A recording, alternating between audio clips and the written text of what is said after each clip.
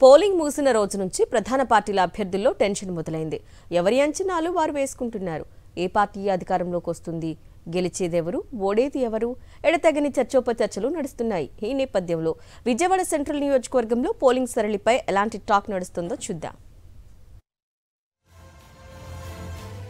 నియోజకవర్గాల పునర్వ్యవస్థీకరణలో భాగంగా విజయవాడ సెంట్రల్ నియోజకవర్గం ఆవిర్భవించింది. విజయవాడ సెంట్రల్ నియోజకవర్గానికి జరిగిన తొలి ఎన్నికల్లో అంటే రెండు వేల తొమ్మిదిలో జరిగిన ఎన్నికల్లో మల్లాది విష్ణు కాంగ్రెస్ పార్టీ అభ్యర్థిగా బరిలోకి దిగి విజయం సాధించారు. పీఆర్పీ నుంచి పోటీ చేస్తున్న సమీప అభ్యర్థి వంగవీటి రాధాకృష్ణపై గెలుపొందారు. ఆ తర్వాత రెండు వేల పద్నాలుగులో జరిగిన ఎన్నికల్లో టీడీపీకి చెందిన బొండ ఉమామహేశ్వరరావు వైఎస్ఆర్సీపీ అభ్యర్థి పూనూరు గౌతమ్ రెడ్డిపై గెలుపొందారు రెండు వేల పంతొమ్మిది ఎన్నికల్లో వైఎస్ఆర్సీపీ అభ్యర్థిగా బరిలోకి దిగిన మల్లాది విష్ణు టీడీపీ అభ్యర్థి బొండా ఉమామహేశ్వరరావుపై గెలుపొందారు రెండు వేల ఇరవై నాలుగు ఎన్నికల్లో వైఎస్ఆర్సీపీ అభ్యర్థిగా వెల్లంపల్లి శ్రీనివాసరావు టీడీపీ అభ్యర్థిగా బొండా ఉమామహేశ్వరరావు ఎన్నికల బరిలో నిలిచారు. జూన్ నాలుగున ఎన్నికల ఫలితాలు వెలువడబోతున్నాయి. ఈ నేపథ్యంలో మంచి చేసిన ప్రభుత్వానికి ప్రజలంతా మద్దతుగా నిలిచారని విజయవాడ సెంట్రల్ నియోజకవర్గ ఓటర్లు అభిప్రాయపడుతున్నారు. గత ప్రభుత్వం స్కూల్ అనేది ఒకటే ఒకటి చెప్పొచ్చు అన్న. పెద్ద కారణాలు అన్నీ ఎత్తుక్కోవచ్చు అలా స్కూల్ అనేది స్కూల్ పిల్లల చదువు. గత ప్రభుత్వంలో ఏ రోజు స్కూల్ డెవలప్ డెవలప్ అయినంతగా ఇప్పుడు డెవలప్ అయినట్టుగా పూర్వకాలంలో లేవు. ఈరోజు ఇదివరకు అయితే పేదవాడికి చదువు అంటే అందరం దాక్షానే ఆ మధ్యతరగతోడికి అయితే అది ఒక రెక్కల భారం భుజభారం అన్నమాట. ఈ రోజు అలాంటిది తేలిక చదువు అనేది చాలా సులువు చేసి పారేశారు కదన్నా. ఇప్పుడు మా బుక్స్ కొన్న అవసరం లేదు ఫీజులు కట్టాల్సిన పని లేదు. ఈరోజు నేను ఇప్పటి వరకు చూడండి ఏంటంటే గవర్నమెంట్ స్కూళ్ళల్లో అప్లికేషన్ ముందు వెళ్ళి అప్లికేషన్లు అడుగుతున్న స్టేజ్కి తీసుకొచ్చారంటే గవర్నమెంట్ స్కూల్లో ఒక్క జగన్ అన్న వల్లే. మహిళలందరికీ కూడా మేలు చేశారు. మహిళలందరినీ ముందు నుండి నడిపించారు.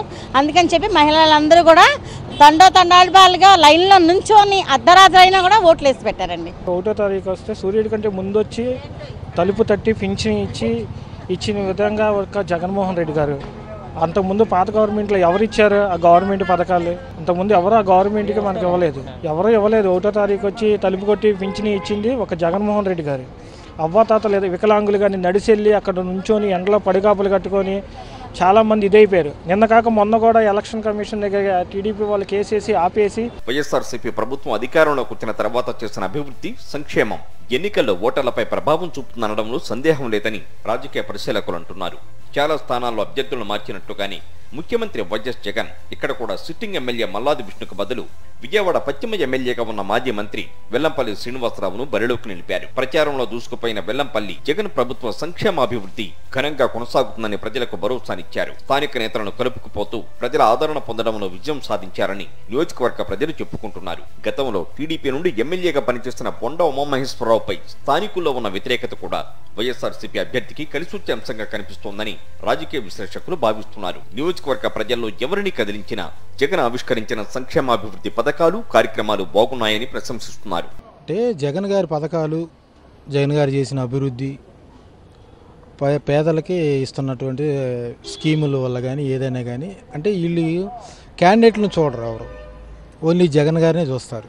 క్యాండిడేట్లతో పని లేదు. జగనన్న పథకాలను బట్టి ఆయన చేసిన ప్రతి ఇది కాడ ఆయన పథకాలే గెలిపెత్తాయని మేము నమ్ముతున్నాం. మీ మీద ప్రభావం చూపించిన అంశం ఆయన నేను ఆ పైన నేను రైల్వే ఎంప్లాయీ రిటైర్డ్ అయిన ఎంప్లాయీ. జగన్ గారి మీద రాజశేఖర రెడ్డి గారి మీద అభిమానంతో ఆయనకు ఓటేసా మా లేబర్ గురించి పట్టించుకున్నది ఒక జగను ఒక రాజశేఖర రెడ్డి గారే. లేబర్కి ఈరోజు న్యాయం జరిగిందంటే ఆయన అయ్యాములోనే. ఈరోజు లేబర్కి ఇల్లు గతంలో తెలుగుదేశంలో ఉన్నప్పుడు ఒక ఇల్లు ఎవడికన్నా ఇచ్చారేమో? ఒక్కడికి ఇల్లు కానీ ఇవ్వలేదు. ఇల్లు కట్టించు షోయింగ్ మా ఏదో బొమ్మ చూపించా నాటకం ఆడారు కానీ ఎవరికాడ ఇల్లు ఇలా జగన్ అట్ట చేయలే? జగన్ డైరెక్ట్ ఇల్లు ఇచ్చాడండి. రిజిస్ట్రేషన్ పట్టాలు కాడ ఇచ్చేసాడు కొంతమంది వెళ్ళి కాపురాలు చేసుకుంటున్నారు అక్కడ. ఏమండి government is for the people by the people అని చెప్పేసి పెద్ద స్లోకన్స్ మన రాజ్యాంగం ఇచ్చింది. మరి ఇంతమంది ఇంతవరకు ఏ ఏ గవర్నమెంట్ కానీ ఏ చీఫ్ మినిస్టర్ కానీ పేద ప్రజల కోసం పే ప్రజల కోసం చేసింది వినికిడిలో లేదు. మేము నాకు నేను పా- పాతిక సంవత్సరాల నుంచి ఓట్లు వేస్తూ ఉన్నాను. ఇప్పుడు దాకా కూడా ఏ రాజకీయ నాయకుడు కూడా ఏ ఏ ముఖ్యమంత్రి కూడా మరి పేద ప్రజలకి ఏం చేసింది లేదు. ఇది ముఖ్య రెండోది హెల్త్. ప్రతి పేద ప్రజలకు కావాల్సింది ఏంటి కూడు గుడ్డ నీడ. దీంతో పాటు వాళ్ళకి మంచి మంచి హెల్త్ కాన్షియస్. అటువంటిది మన జగన్మోహన్ రెడ్డి గారు పేదల కోసం అని చెప్పేసి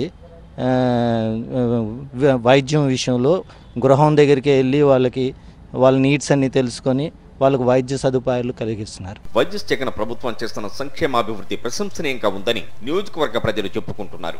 ఐదేళ్ళలో అమలు చేసిన పథకాలే కొనసాగుతాయని జగన్ చెప్పడంతో నియోజకవర్గ వ్యాప్తంగా చాలా మంది సంతోషంగా ఉన్నారని క్షేత్రస్థాయి నివేదికల ద్వారా తెలుస్తోంది. జగన్కు ఉన్న విశ్వసనీయత చిత్తశుద్ధి కారణంగా ఆయనంటే తమకిష్టమని స్థానికులు చెప్తున్నారు. సంక్షేమం అనేది అవినీతి లేకుండా పేదల ప్రజలకి ఇంటి దగ్గర చేరుతున్నాయి. దీంట్లో మధ్యలో ఏ దళారులు కానీ ఎవరు కానీ లేరు. పెన్షన్ తీసుకోవడం కూడాను చాలా సక్రమంగా జరుగుతుంది. వాలంటీర్లు ఇంటికి వచ్చి ఇవ్వడం ఇదంతా చాలా జరుగుతుంది. ఇదివరకు ప్రభుత్వంలో వా పెన్షన్ తీసుకోవాలనుకుంటే ముసలా మొత్తగా లైన్లో నుంచోవడం రేపు రామ్మ సాయంత్రం రామ్మ అని తిప్పడం. అలా కాకుండా ఇప్పుడు పొద్దున్నే ఆరింటికి తలుపు కొట్టి పెన్షన్లు ఇవ్వడం ఈ పథకం చాలా బాగుంది. దీంతో పాటు ఆ రాజ్య అదే ఆరోగ్యశ్రీ కార్డులు కూడా చాలా బాగున్నాయి. హాస్పిటల్స్ కూడా నాడు నేడు అన్నీ చాలా సక్రమంగా జరుగుతున్నాయి. సంక్షేమం ఇట్లా కొనసాగాలని చెప్పేసి అని జగన్ గారికి మద్దతు ఇవ్వాల్సిన అవసరం ఉంది. అందుకే ఇస్తున్నాం. సంక్షేమ పథకాలు కదండి కరోనాలో అటు పురుగు ఇటు రా రాలేదండి. జనాలు చాలా ఇబ్బంది పడ్డారు. ఆ టైంలో కూడా సంక్షేమ పథకాలు వెళ్ళి అమ్మఒడి కానీ విద్యా దీవెన కానీ వసతి దీవెన కానీ పింఛన్లు కానీ ఆరోగ్యశ్రీలు కానీ అసలు కరోనాలో బాగా అసలు వేరే గవర్నమెంట్ ఎవరు ఉంటే నాకు తెలిసి చేతులు ఎత్తేసేవాళ్ళండి. జగన్మోహన్ రెడ్డి గారు కాబట్టి అన్నీ దానికి ప్రతి దానికి ఒక సొల్యూషన్ ఎత్తికి జనాలు ఒక మేలు మంచి చేశారండి. బాగా చేశారండి జగన్మోహన్ ఇవి కొంతమంది ప్రజల హృదయ స్పందనలు. మంచి చేసిన ప్రభుత్వానికి మద్దతు ఇవ్వడం జరిగిందని వారు స్పష్టం చేస్తున్నారు. ఐదేళ్ళలో జరిగిన సంక్షేమాభివృద్ధిని గుర్తు చేసుకుంటున్నారు.